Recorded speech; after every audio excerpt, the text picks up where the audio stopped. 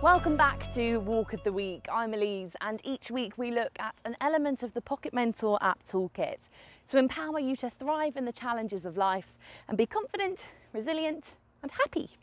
This week we're looking at how protecting ourselves from mistakes is one of the worst things we can do for our resilience.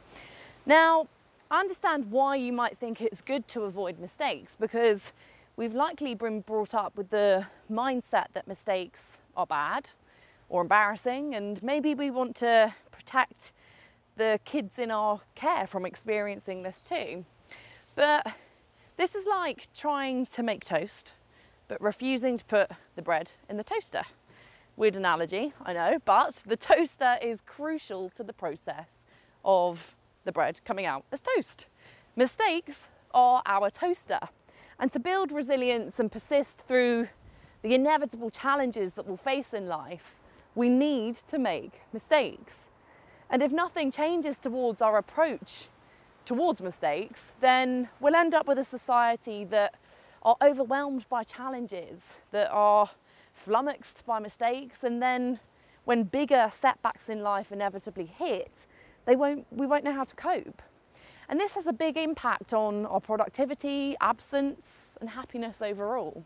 And we're starting to see this impact society already because so many of us have been brought up with this avoidance mindset towards mistakes. And really, is this what we want for future generations? Resilience is a muscle that is built through making mistakes.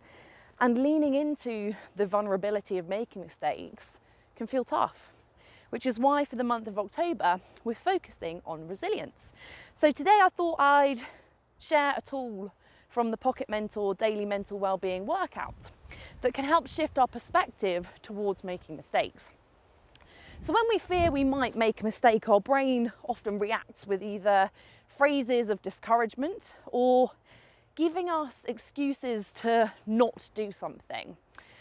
For example, has your mind ever told you things like, you're not good enough, you'll get it wrong, maybe people will laugh at us. The words that we say are powerful and they influence our thoughts, our feelings, and our actions. So if we listen to these thoughts, it's no wonder we want to avoid mistakes. But our words can also empower us. So instead of steering away from situations we might make mistakes in, we can lean into them by reminding ourselves of the strengths that we have that can help us. We do this by using affirmations, which is the third of our Five to Thrive daily mental well-being workout in the Pocket Mentor app. So affirmations are empowering statements that remind us of our strengths and help us to overcome challenges. For example, they could be something like, my strength to have courage can help me through this. Or it could be skill based or maybe something like mistakes are stepping stones to progress. When we repeat these to ourselves, we don't allow those automatic negative thoughts and excuses airtime to convince us to stop. Instead, they boost our confidence and motivation to help us keep going. And this is done through repeated use. So the more we use affirmations, the stronger that pathway becomes in our brain which is why daily affirmations is part of our daily mental well-being workout. The benefits are throughout felt through daily use. So do you want to keep resisting mistakes and protecting yourself and maybe kids around you from making mistakes? Or do you want to equip yourself with the essential mental resilience workout skills to start thriving through challenges and see mistakes as inevitable and essential for our progress? If you want to start thriving, then click the link around this video and join our seven day free trial for the Pocket Mentor app.